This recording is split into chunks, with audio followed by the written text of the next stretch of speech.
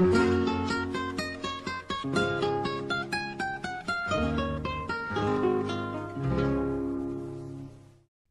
it sounds Spanish, man, that's what it is. It's a Spanish movie. Now, okay.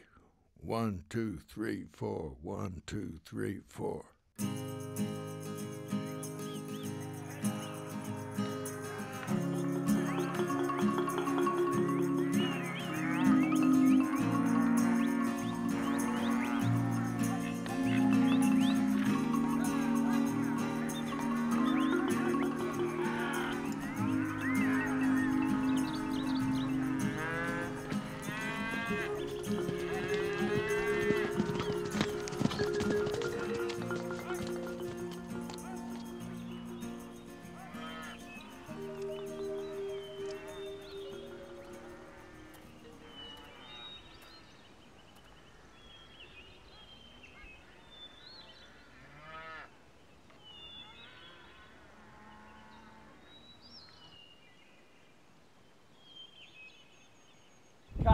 La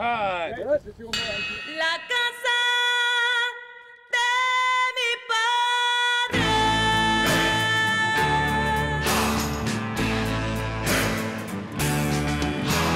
El amor no es un juego cualquiera.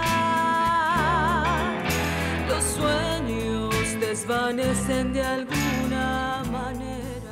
For the longest time, I've had uh, the idea, the notion of doing a a Spanish language comedy. Um, I don't remember when I got the idea, but it I I did I did have this idea. When I first read it, I was like, "Is it? Is this really gonna be a, a film? I, nah, really? It sounded like a joke. you I know, don't- like, yeah. Oh yeah, you and and you want us Mexicans to believe you're gonna spend a lot of money shooting a film like this? Yeah, in Spanish. Uh huh. It's telenovela. It's my genre. Ahora vamos a entrevistar a Diego Luna, que está. Ah, no, no.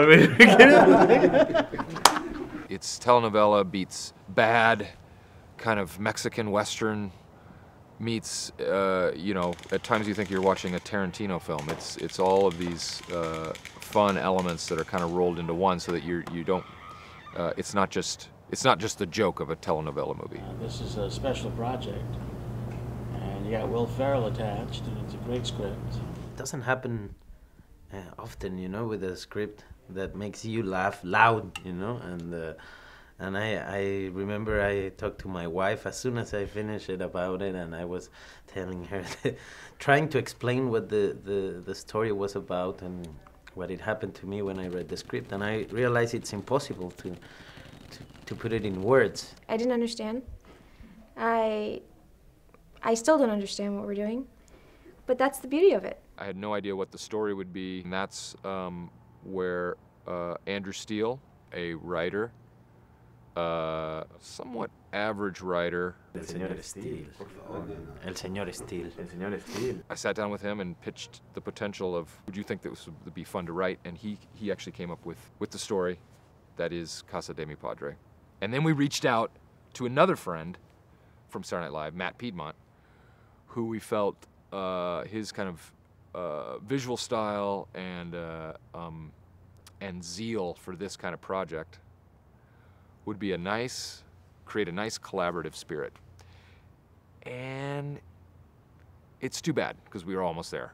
to see a writer, a director, and an actor working together. You know, it's it's normally there's a moment where, at least in the film I've done, where film is just about directors. You know, and here it's amazing how the team stays together, and they keep writing and they keep making the film together. You know.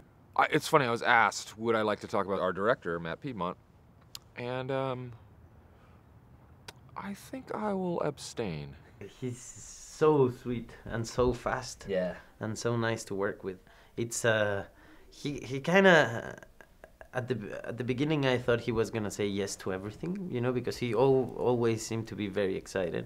But then I realized no, he's about uh, having options, different options, different options, and playing around and never repeating the same thing. And and, uh, And he's also really good at, at giving you a little hint on how to nail certain things.